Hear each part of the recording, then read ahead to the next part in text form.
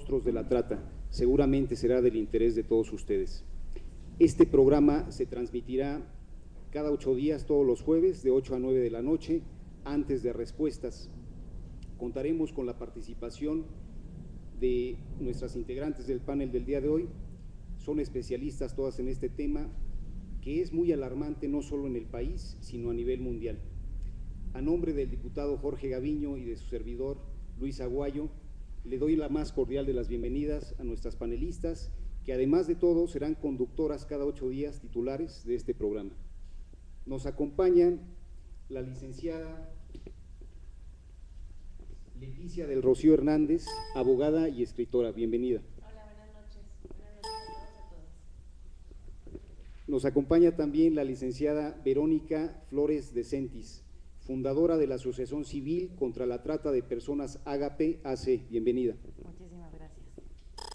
Nos acompaña también la licenciada Diana Correa, maestra de Estudios Internacionales del TEC de Monterrey y coordinadora de la misma institución del curso sobre trata de personas que se imparte en coordinación con la, con la Organización Internacional para las, para las Migraciones. Bienvenida. Muchas gracias. Buenas noches. Nos acompaña también la licenciada Albania González Polito, psicoanalista, activista por los derechos humanos y especialista con reconocida experiencia en violencia de género, niñas, niños, mujeres, trata y migración. Bienvenida. Muchas gracias, buenas noches a todos. Muy bien, pues eh, les doy nuevamente la bienvenida a todas. Eh, amigas y amigos, no olviden seguirnos a través de las redes sociales. Se las recuerdo rápidamente. Facebook, tu diputado JGATV, Twitter, tu diputado JGATV, o bien al correo electrónico tu diputado gmail.com. Y les recuerdo que terminando este programa empezaremos con respuestas con el diputado Jorge Gaviño, que seguramente nos está viendo desde la asamblea en donde se encuentra en este momento. Regresamos en un momento.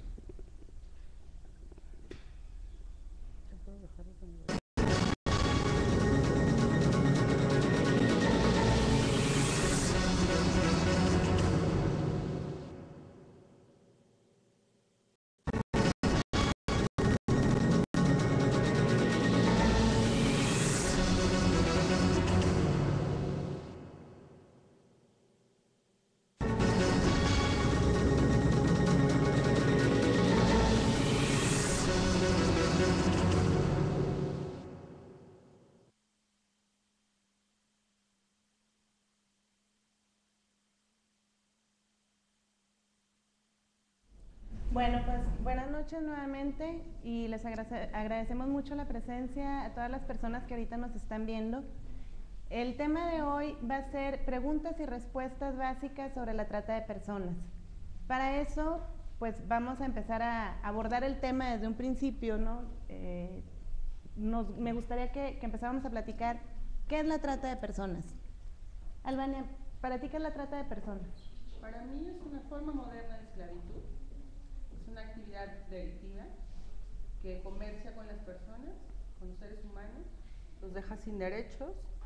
eh, es una actividad que además comercia con todos los derechos y con todo el ser humano en, en su totalidad, con el cuerpo, con el trabajo, con, con la alegría. ¿no? Creo que podríamos definirla así, Con la dignidad, sobre todo. con la dignidad, efectivamente. Vero, para ti, ¿qué, qué es la trata de personas? ¿Cómo, cómo, cómo podríamos ofrecer una, una definición sencilla que, que se nos quede a todas y a todos en la memoria? Yo estoy totalmente de acuerdo con, con Albania, que tiene que ver con todo lo que ella dijo, pero le sumaría un poco solamente que es un, es un fenómeno que no respeta clases sociales. Es un fenómeno que, que no importa el, el sexo de la persona, que no importa el nivel económico, que no importa la religión, que no importa la raza, que a todo el mundo le puede suceder.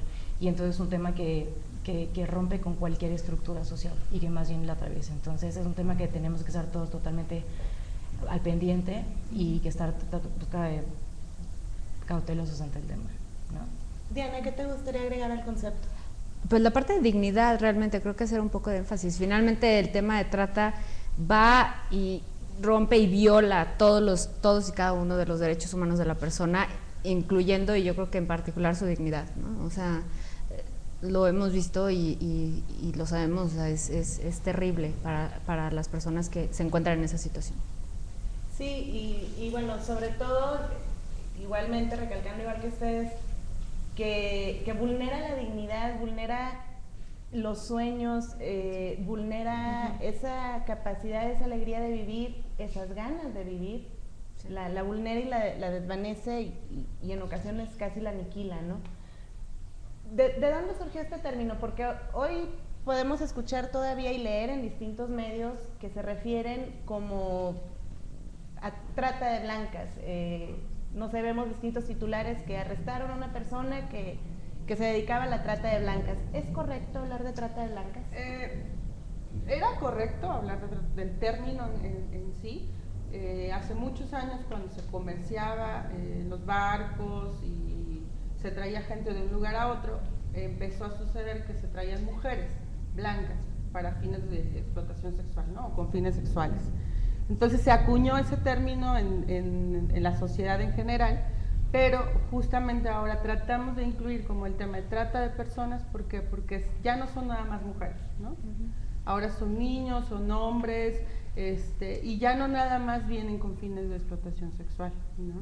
También hay trata con fines este, laborales, de explotación laboral, hay trata que también tiene que ver con extracción de órganos, ¿no? Un sinfín. Entonces yo creo que el término no está mal, pero ya no es, ya no es usado de manera adecuada. ¿no? Creo que habría que meter Se este volvió obsoleto. Exacto. Ayer en, en bueno, eh, en, el, en el marco de la Semana contra la Trata de Personas y Violencia hacia Niñas y Mujeres que se realizó en el TEC de Monterrey, Campus Ciudad de México, escuchábamos, ¿no, Diana? Sí. A Denise Velázquez, uh -huh. de la Organización Internacional para las Migraciones aquí en México, que decía de manera muy puntual y muy precisa, el término de trata de, de blancas es jurídicamente correcto, pero anacrónico. Sí.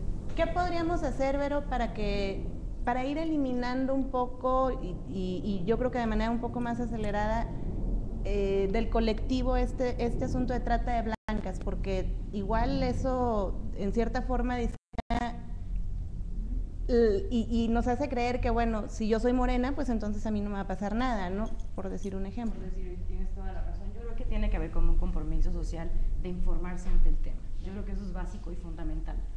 Entonces, hay muchas es más, muchos periodistas y demás pueden seguir publicando trata de blancas, pero si uno tampoco está como el término, tampoco está tan escondido ni, ni tampoco hay que investigar tanto. El tema es meterse a internet y buscarlo en cualquier buscador y realmente podemos encontrar cualquier definición que ya está perfectamente bien actualizada. Es un tema de interés, yo creo que es un compromiso social que tenemos todos a cualquier nivel de poder enterarnos del tema, de poder saber qué implica, qué involucra y entonces a partir de eso, de entrada, poder expresarnos bien, de, o sea, correctamente del, del propio término, ¿no? Bien. Sí, eh, o sea, es, es esto, o sea, si, si sabes lo que estás nombrando, sabes realmente empiezas a tomar una dimensión del, del problema, del problema sí. ¿no? O sea, otra vez, si dices, si dices trata de blancas, bueno, pues sí, nada más eres mujer, y si eres hombre, entonces no va a pasar. Y como Vero ahorita estaba diciendo, este es un tema que nos incluye a todos y nos debe de preocupar y ocupar a todos. Entonces, el tema, el, el, el término efectivamente pues no es válido todavía, al menos este, de manera jurídica, pero me parece obsoleto, o sea, lo rebasamos. La, la, el, el delito lo, lo rebasó completamente. Y, y, yo creo que también algo muy parecido sucede eh, con el, el, término de tráfico y trata de personas, ¿no? Sí. Eh, de repente de manera indistinta leemos eh, traficante de personas sí. y, y, ya leemos la nota y bueno, vemos que se trataba de un tratante de personas. Uh -huh. ¿Nos podrías ayudar, Diana, con, sí, con claro. el origen de, de por qué la confusión? La confusión realmente entre tráfico y trata viene de una mala traducción del inglés. En inglés, trafficking of people es el tráfico de personas y trafficking of persons es la trata de personas. Pero pues como lo tradujimos, pues entonces tráfico es tráfico y pues aplica para las dos, ¿no? Cuando en realidad no debiera de ser así. El tráfico involucra eh, usualmente un intercambio económico, la voluntad de la persona, porque el, tra el, tra el traficante, perdón, en, en, México los conocemos como coyotes y polleros, uh -huh. eh, te lleven a, otra, a otro país. Tiene que haber un cruce de fronteras internacionales, no así en la trata. El tratante te puede tratar dentro de tu, misma, de tu mismo país y no existe el consentimiento y no hay un intercambio económico. Entonces, finalmente, pues es eso, fue una mala traducción y que nos hemos quedado con eso. Y tiene otra vez que ver como con lo de trata de blancas, ¿no? O sea, informarnos. ¿Algún ejemplo que se te ocurra, Albania, para distinguir? Bueno, una cosa de, tráfico de personas. Por, ejemplo, en Frontera Sur, que los niños centroamericanos principalmente son entregados a un coyote para que sean trasladados hacia Estados Unidos para buscar a su familia. Eso es tráfico. ¿Por qué? Porque además la familia paga una cantidad de dólares y aunque claro, sabemos que el paso del migrante a través de, del territorio hacia su lugar, al lugar donde va a llegar, sabemos que tiene riesgos, finalmente hay un beneficio también que esa persona está obteniendo, ¿no? Que es llegar o tener la posibilidad de, alcanzar su sueño de llegar a otro país. En el caso, por ejemplo, también podemos este, tomar frontera sur, en el, caso, en el caso cuando hablamos de trata, son niñas que son eh, robadas, vendidas, engañadas, secuestradas en sus lugares de origen o en las zonas donde ellas están trabajando y este, son llevadas a otros espacios que pueden ser dentro del mismo estado o dentro de cualquier otro lugar del país, donde no obtienen un beneficio y tienen que trabajar, este, ya sea por el traslado o tienen que trabajar simplemente para darle un beneficio a una persona y ellas nunca obtienen un beneficio, nunca obtienen eh, un salario y en muchas ocasiones, como también sabemos, pues tampoco este, tienen acceso a los alimentos, ¿no? Ni a la salud. Y, también que no están peleados, ¿no? Finalmente, si el, el, tráfico sí puede terminar en trata, la trata, o sea, también es, un elemento, pero no, finalmente sí es importante hacer Por eso es, yo creo que la confusión básica es porque sí puede haber trata, ¿no? Eh, han habido muchos casos de personas, por ejemplo, que entregan a los niños y entregan el dinero y les dicen a los familiares, este, va a llegar tanto tiempo, y en el camino el pollero o el coyote, dependiendo de la zona geográfica en la que nos ubiquemos, este, pues ve que puede obtener un beneficio económico vendiendo a la niña o al niño, ¿no? Este, principalmente es para este, con fines sexuales, y entonces en esa cadenita lo va, digamos, tratando y lo va vendiendo o la va vendiendo hasta llegar al lugar de origen, si es que llegan al lugar de origen. Una, a mí me ayuda mucho como para entenderlo la diferencia entre cuando cometes un delito contra el Estado o contra la persona. Claro. Exacto. Sí, el tráfico de personas yo creo que tiene que ver con cuando se comete un delito contra el Estado, porque te involucra que entres a un país, te internes a un país de manera ilegal, de manera irregular. En cambio, la trata de personas, el delito es contra una persona, porque estás violando totalmente los derechos humanos. Entonces, yo creo que eso nos ayuda, es una cosa muy fácil de poder entenderla y ayuda mucho como que a aclararse. Que, que, también ahí me gustaría hacer alguna precisión. Eh, el delito contra el Estado lo comete el pollero o el coyote. Claro, claro. No tanto la, el, el, migrante en situación irregular, ¿no? Así, es. Y, y, yo creo que eso es muy, muy, muy importante tener muy claro esto, cómo se diluye el, el delito eh, de tráfico de personas cómo se diluye en, un delito mayor, en un delito superior, que es el de trata de personas. Pero a final de cuentas, es muy difícil poder comprobar que, existe trata. ¿Por qué existió trata? Porque no es fácilmente identificable el momento a partir del cual comienza la trata. O sí, sí, sí, sí, de repente ahorita igual hablando un poco de Frontera Sur, eh, ahorita desafortunadamente estamos viendo más y más casos de crimen organizado captando o cooptando a estas personas y el pollero las vende. Usualmente las vende para su propia protección. Entonces esta idea de, bueno, me das dos pollos y te dejo pasar a los demás. Usualmente mujeres, niñas, niños, adolescentes. Este, entonces si eh, de repente estas personas, como decías Albania, o sea, van, van en su camino, van, hubo, hubo intercambio ahí monetario, la familia lo está esperando en donde sea, este, y en el camino los captan y sea que lleguen, que muy pocas veces desafortunadamente ahora están llegando, ¿no? Están, ya no los volvemos a ver. Exacto.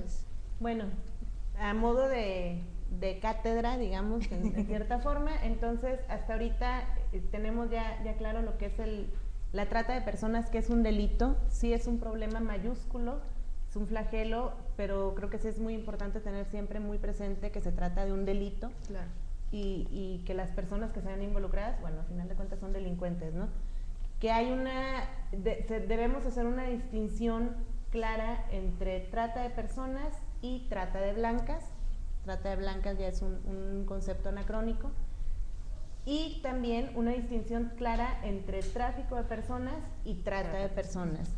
Sí, que, que insisto y, y- y lo, lo- lo haré a lo largo del programa y, y posterior, pero sí es muy importante tener esto claro, porque al final de cuentas los medios son la forma en la que, en la que le llega la información a la sociedad de lo que está pasando. Y hoy por hoy la verdad es que la sociedad está mal informada o poco informada y, lo poco que recibe de información, bueno, de repente son términos confusos, ¿no? Y pues esto me lleva a otra cuestión también muy delicada, que, que todas las modalidades de la trata lo son, que es la explotación de niñas, niños y adolescentes, que es muy común y lo más común tristemente es verlo como explotación infantil. ¿Qué nos puedes decir, Albania, de, de lo grave que es manejar el término de explotación infantil? Bueno, cuando hablamos de explotación infantil solamente dejamos a un sector muy importante, que son los adolescentes, ¿no? Los dejamos fuera este, completamente y como si ellos no tuvieran derechos, ¿no? Entonces, es, lo importante y lo correcto es decir explotación de niñas, niños y adolescentes o explotación de infantil y adolescente, ¿no? Y ahí también tendríamos que hablar un poco de la diferencia que hay entre la explotación sexual, por ejemplo, y la explotación laboral, que los niños y las adolescentes también son llevados para estos dos fines. ¿Y por qué, por qué trato de hacer la diferencia? Porque a veces hablamos, mal, mal, mal llamamos prostitución infantil, por ejemplo, que es una forma de trata también, en muchos casos, en su mayoría diría yo. Y entonces cuando hablamos de prostitución infantil, pareciera que damos como por hecho que el niño un día se despertó y dijo, hoy voy a ir a prostituirme a la esquina, ¿no? Eso sí podría llamarse como una prostitución infantil, es decir, yo lo, yo lo decidí, pero en el caso de, las- de la- de la prostitución, donde son niñas y niños víctimas, hay alguien que los está vendiendo, ¿no? Entonces el término también, por ejemplo, correcto para eso, aún siendo trata cuando son fines sexuales, es prostitución de niñas, niños y adolescentes, porque hay alguien que está obteniendo un beneficio de la explotación sexual de sus niños, ¿no? Porque también al final de cuentas, al momento de, de- hacer esta clara indicación de prostitución de niñas y adolescentes, y, y si no, corríjanme ustedes, también es el hacer énfasis y- y de manera muy resumida, nada más en esa frase, de decir, no, no es con la voluntad de los niños y las niñas. Claro. Porque al final de cuentas, aun cuando la niña de 7 años le pregunta al señor, ¿quieres? y la niña diga que sí, como No, no, no es- el- no es estaba bueno. escuchando yo la declaración de este padrastro que violó a la, Sí. a muchacha que dijo, bueno, ella quiso, estuvo de Ella acuerdo y nunca tal. dijo nada. Ella nunca dijo Sí, nada, nunca. se inventó el novio, sí, pero es una persona menor de edad, por lo tanto, ese simple hecho ya invalida todo lo que el Sí, absolutamente le, consentimiento. le quita. Sí, o sea, el consentimiento No no, hay existe. consentimiento. No existe, claro. Sí, otra cosa que, que podríamos como decir de la importancia de nombrar es que son sujetos de derecho. Niñas, niños, adolescentes. Sí. Cuando hablamos de infancia, pareciera que lo englobamos todo y que niñas, niños y adolescentes desaparecen como sujetos de derecho. Y es bien importante hacer el énfasis en que son niñas, niños y adolescentes. Y que estos tres tienen derechos. Ok, em, vamos a un corte y ahorita regresamos.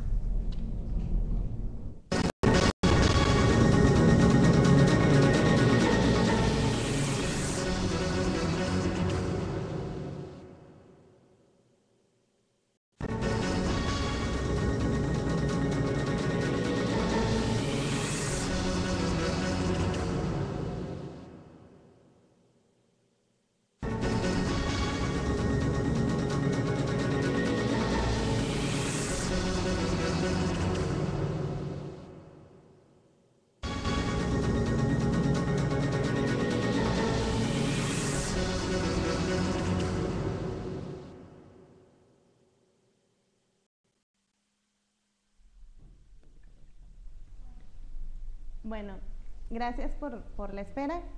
Eh, y les agradecemos mucho a Ale Belita, Yesenia Esquivel, Glow 05, Lolis Flores, Arcelia Sánchez, María Esmirna Espinosa, Ana Cordero, a Mavi Limario, eh, que nos mandan saludos, muchas gracias. y Alejandro Pardavé, que nos comenta que están muy interesantes los temas que estamos dando. Espero que, que sigan siendo de su interés. Muy bien, entonces estábamos, Albanian, en, en la, la, la, precisión y la definición que nos estabas dando sobre el tema de explotación. Sí, porque me parece que, que por ejemplo, eh, está... Eh, los niños ¿no? tienen como eh, propios convenios y protocolos que los, de, que, los, que los defienden y que legislan a favor de ellos para que no sean víctimas de explotación. ¿no? Entonces sí es bien importante nombrarlos para que sean, para que existan, para que tengan derechos también como en nuestra propia construcción social. Y es, ¿Sí? me parece muy importante porque de repente eh, pareciera que en nuestro país y bueno, en muchos otros, ¿no? El, el, niño es objeto de derecho, no sujeto de derecho. Y entonces, eh, a la hora de que, pues, igual ahora con el caso de Guadalajara, escucho que dicen, es que la menorcita. Dije, bueno, sí, no, o sea...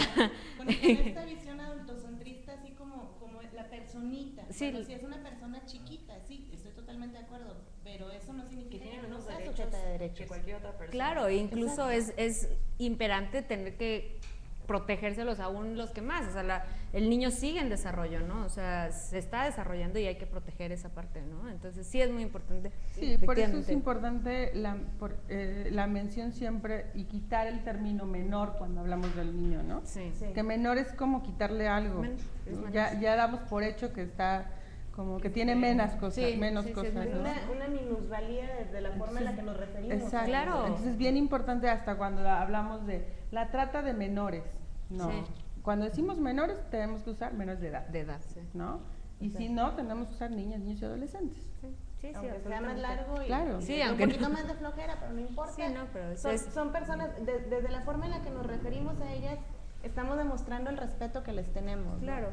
Y, y, me parece que igual, o sea, esto es bien importante en el tema de trata, bueno, y en muchos otros temas de derechos humanos, las palabras que usamos. Claro. O sea, otra vez regresamos con lo de tema de, de trata de blancas, trata de personas, niñas, niñas y adolescentes. Eso es bien importante que, que, mencionemos bien, o sea, que realmente los llamemos por las cosas, ¿no? O sea, por lo que son. Y, y, y referirnos, insisto, siempre con respeto. Yo creo que tú, tú nos puedes eh, comentar más, Vero, de estas, eh, de repente como resbalones que tienen por ahí eh, en algunos medios al referirse a las víctimas, a las sobrevivientes eh, también y, y, a las familiares y a los familiares de las víctimas en formas poco respetuosas.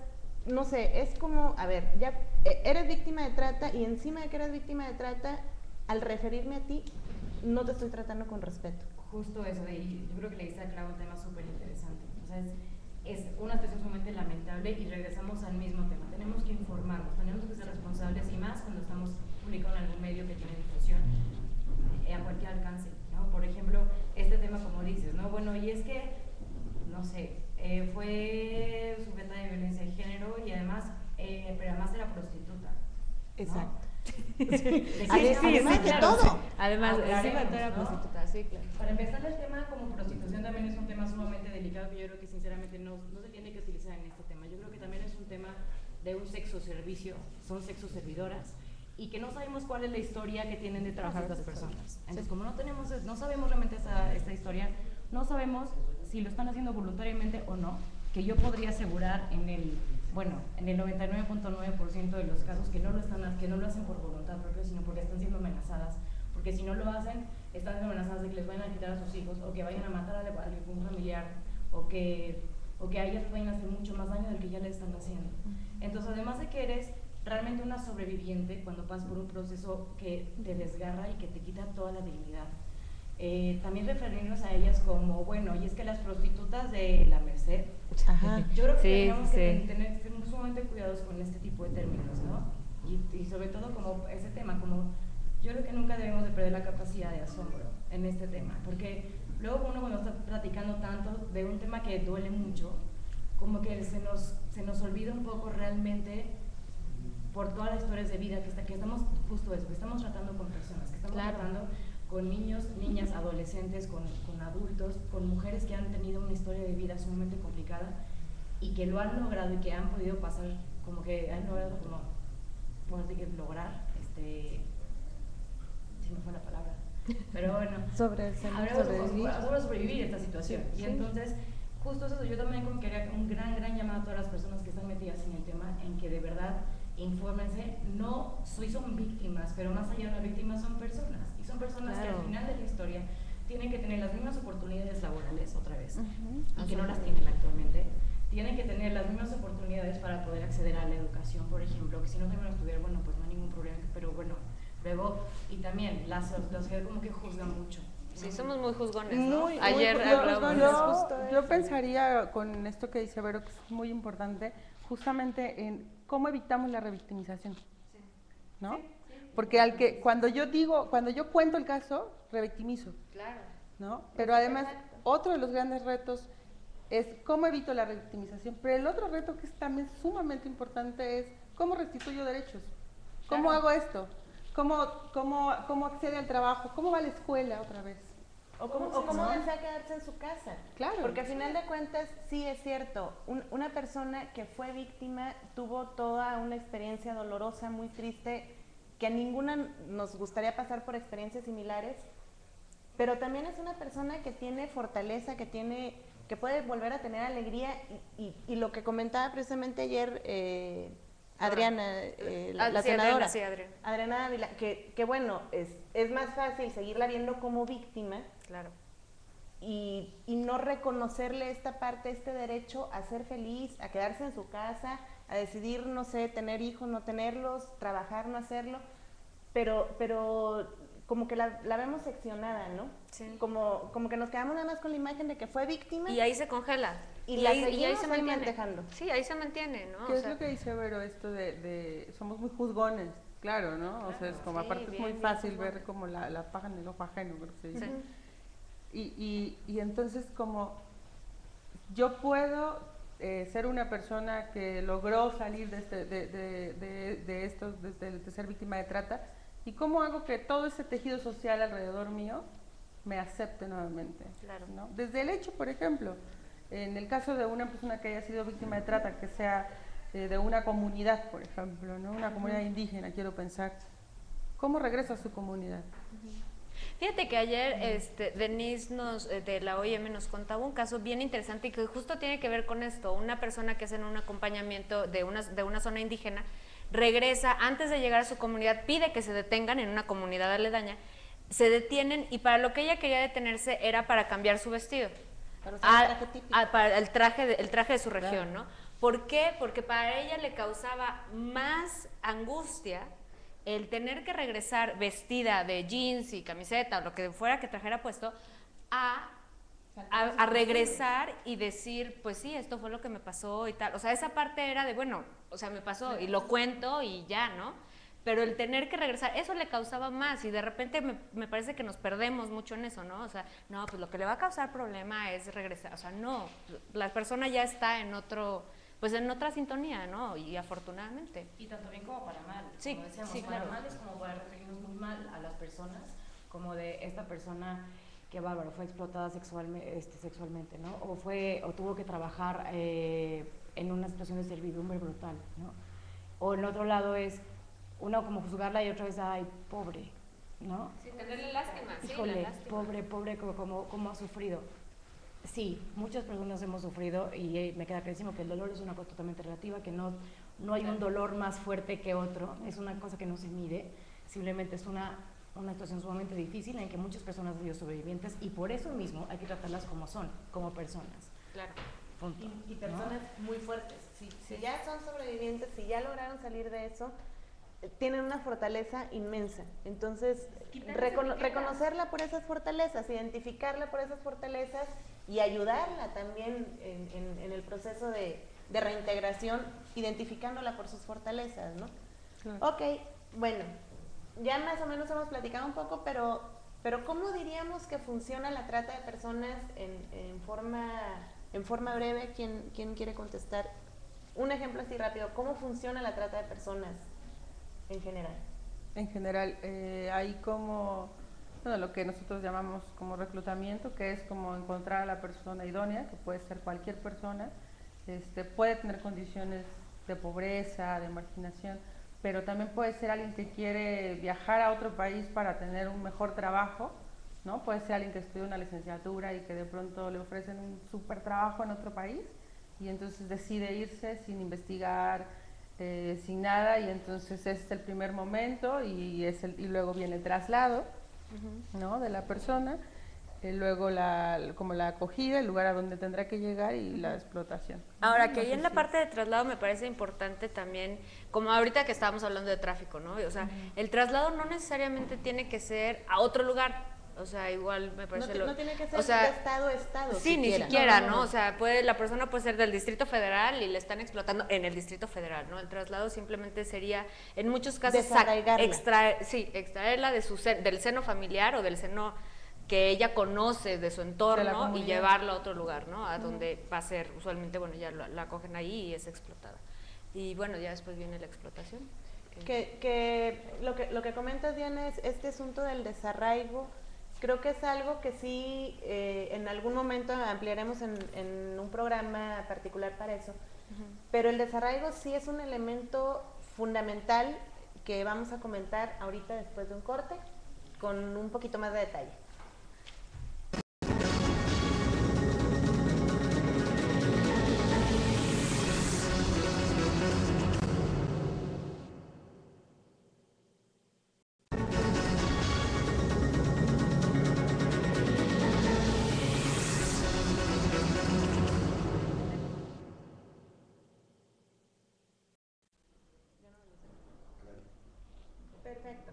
Ok, bueno, entonces eh, comentábamos del desarraigo.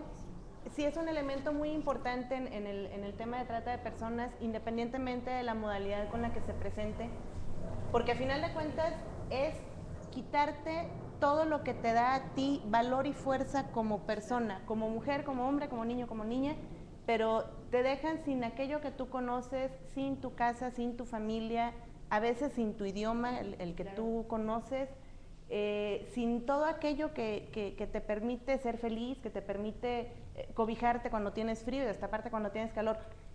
Te, te- te sacan todo lo que te nutre como persona con el desarraigo. Te lo, te lo quitan de hoy para mañana. Ya no ves a tu padre, a tu madre, a tu hijo, a tu hermana, a aquellas personas que tú amas. Y aparte te amenazan, te golpean y, y- y una serie de, de- de cuestiones más que hacen que mine mucho tu, tu voluntad sobre todo, ¿no? Creo que sí, sí es un, un tema que da para mucho porque también eso permite tener un acercamiento más eh, seguro y más cercano de, de- de cómo se puede llegar a sentir una vícti- víctima y por qué no, en muchas ocasiones, aunque vea el teléfono ahí, pues no se anima a marcarlo para decir estoy viviendo o pasando por tal situación, ¿no? Pero bueno, eh, de una vez antes de avanzar, eh, Edith Díaz nos pregunta, nosotros como ciudadanía, ¿cómo podemos ayudar para que esto no suceda? Si nos damos cuenta que hay algo raro, ¿dónde podemos denunciar o qué se puede hacer? Ahorita vamos a, dar el, el teléfono y también vamos a comentar un poco esto. Y en Twitter, eh, arroba miguelón-bh, si pueden dar consejos a los padres para evitar esta situación, también ahorita vamos a pasar con eso. Y pues bueno, eh, básicamente ese era el, el punto siguiente. Eh, ¿Qué podemos hacer? La, ciudadanía, ¿qué podemos hacer? ¿De qué manera nos podemos involucrar? Y, y de qué manera también podemos eh, a los padres, no, pero no nada más a los padres, a, a aquellos que tengan a, a su cuidado a personas menores de edad, ¿qué les podemos decir, Vero? ¿Qué hagan? Pues bueno, regresamos como al punto inicial y creo que también es básico y entonces lo voy a repetir porque es importantísimo. Necesitamos estar informados de entrada. Si no sabemos lo que es la trata de personas es muy fácil caer. Es por como les decimos, no, no es un tema que no respeta sexo, no respeta clase económica, no respeta raza, religión. Entonces lo primero que tenemos que saber es qué es la trata de personas, ¿no? Ver ese tipo de programas tan informativos como el que estamos teniendo ahorita. y, y de verdad por- por- ponernos a investigar y demás. eh, bueno, ahora sí es como comercial, pero es importante. Si se meten en la página de Agape pueden encontrar muchísima información al respecto. ¿Cuál que es? es agape.org.mx. Eh, entonces, eso por ejemplo, y Agape y hay muchísimas otras también organizaciones que tienen muchísima información que puede ser muy útil. Esta es una. Otra, yo creo que también tenemos que estar sumamente, ya que estemos informados y sepamos, es importantísimo estar, estar alerta de la situación, porque también es una cosa que no hemos mencionado y es sumamente importante, es que este es un fenómeno invisible. ¿Y a qué me refiero con invisible? Este es un fenómeno que de verdad puede pasar una persona frente a nosotros caminando por la calle y no identificamos que está siendo explotado, tanto laboralmente como sexualmente. Es una cosa impresionante.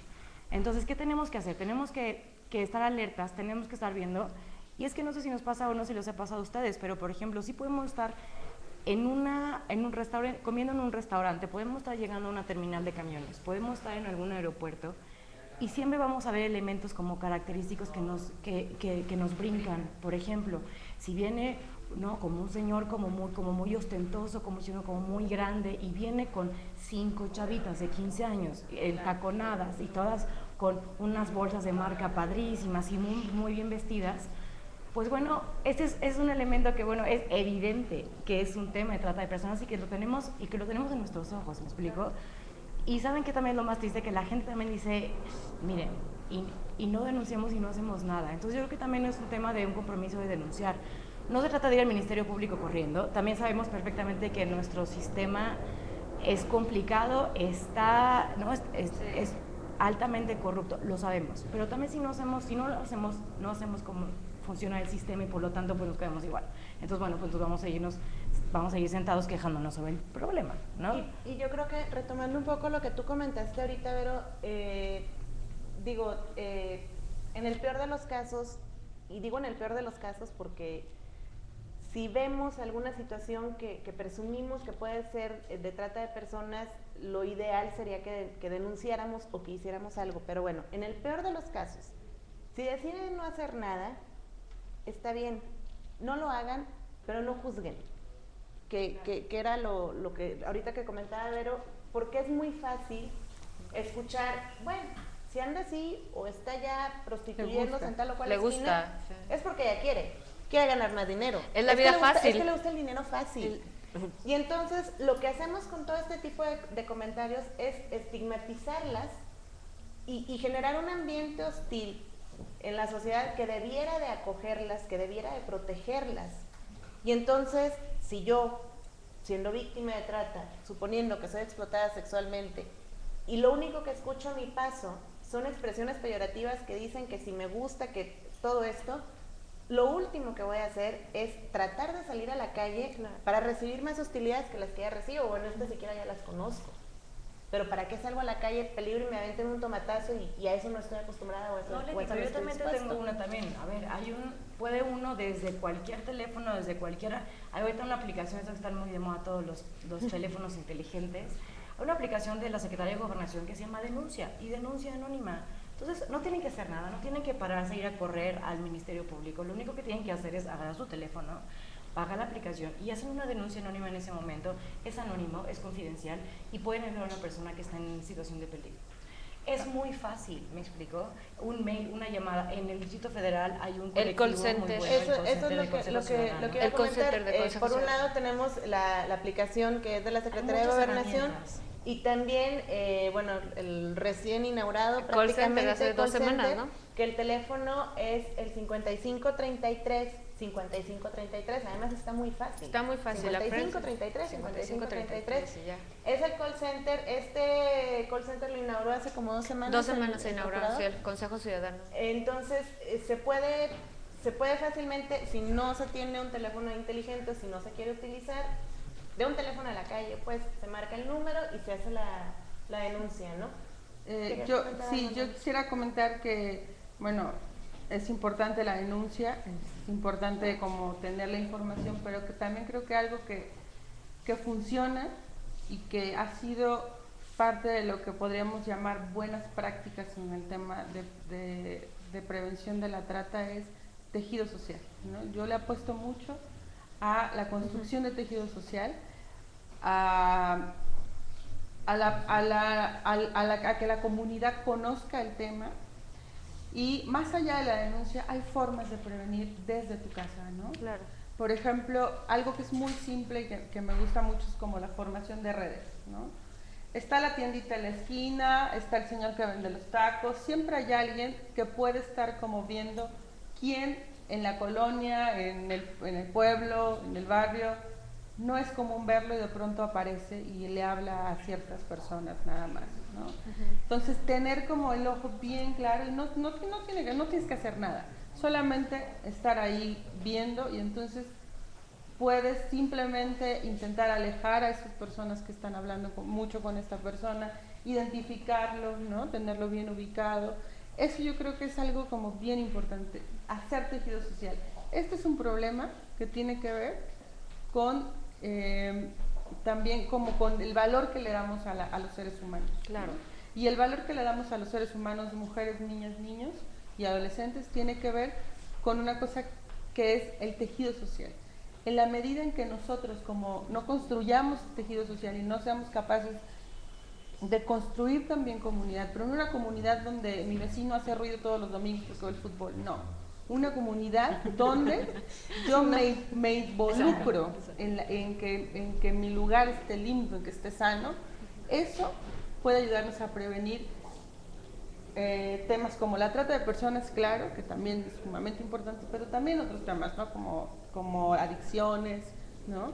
Y eso es algo que si pudiéramos construirlo en cada uno de nuestros barrios, en cada uno de nuestros comunidades, hacer trabajo con, las, con, con, con los grupos de, de, vecinos que se organizan, yo creo que podríamos abonar muchísimo a la construcción de un, de un mundo más igualitario, más digno y que permita a todos los seres humanos desarrollarse. ¿no? Yo sí le apuesto a la construcción de tejido social, al trabajo comunitario. Y, otra, y otro punto importante que podemos sumar a esto es involucrarse en las, en las organizaciones que ya están, ¿no? O sea, muchas veces, bueno, ¿qué puedo hacer? Y seguimos viendo la tele en las noches, ¿no? Involucrémonos. Tenemos que involucrarnos en organizaciones que están haciendo cosas, o hacer una, ¿no? Para, por ejemplo, para, eh, como dice la colonia, este tejido, o sea, yo creo que se concreta al final en organizaciones serias que realmente quieren hacer un cambio en, en, en, el, en donde viven, ¿no? en el barrio donde viven. en el entorno. No, y, también lo, lo, que tú dices, y, lo resalto, Vero, porque, porque a veces, bueno, eh, nos organizamos, por ejemplo, ahí en mi cuadra, en mi colonia, nos organizamos 10, 15 personas, mientras lo hacen de manera más formal, justo eso, pueden trabajar como voluntarios, como voluntarias, eh, acercarse de, de, distintas formas, pueden participar con asociaciones, con sectores de la sociedad civil organizada que ya están funcionando, que ya están haciendo un esfuerzo supremo y mayúsculo, hay muchísimas, que por cierto también en tu página nos, nos das ahí todo un, un, dato completo de todas las organizaciones que en México y en el mundo están trabajando contra la trata de personas, acercarse a ellas, acercarse y, para empezar irse informando, ir ayudando, pero también ir atacando el problema de frente, ¿no? Ibas a comentar. Sí, yo, yo nada más quería, quería este, agregar una cosa más. También para, o sea, algo más que podemos hacer es en nosotros mismos y en nuestras familias tenemos que tomar conciencia del problema. Otra vez, es un problema que desafortunadamente no somos ajenos, nadie puede ser ajeno. Y tenemos dentro de las mismas familias, por ejemplo, ahorita con niños, niñas y adolescentes, en el caso de Internet, que en algún momento de la serie vamos, vamos a tocar ese tema, eh, es muy importante, es muy importante que también sepamos cómo manejar estas redes, qué nos pueden hacer y no se trata de no uses internet, no uses Facebook, no uses Twitter, no uses eso, no, se trata de hacerlo de manera responsable y es parte de lo que desde el mismo seno familiar se puede ir haciendo, ¿no? O sea, y, familia entendamos... Y estar como muy pendientes. Claro, siempre muy pendientes. Claro. Hay, hay algo que yo no me canso de decir, que si, si todos y todas tenemos tiempo de ir a la estética, de ir a tomar un café con los amigos o con las amigas, si, si tenemos tiempo de todo eso, también hay que darnos el tiempo para informarnos y sobre todo si tenemos hijos o hijas o, o, niños y niñas que estén bajo nuestro cuidado, bajo nuestra tutela. Es obligado. Al, al, tiempo que el niño y la niña vayan aprendiendo, estamos obligados a, reaprender lo que no aprendimos y aprender lo que no sabemos. Es una responsabilidad que tenemos. Es una responsabilidad mayúscula. Absolutamente. Bueno, eh, pues ya prácticamente para terminar, eh, la semana próxima vamos a estar tratando el tema de explotación de niños, niñas y adolescentes con fines, eh, trata de, personas, de, niños, niñas y adolescentes con, fines de explotación laboral en México. Va a estar la licenciada Albania González.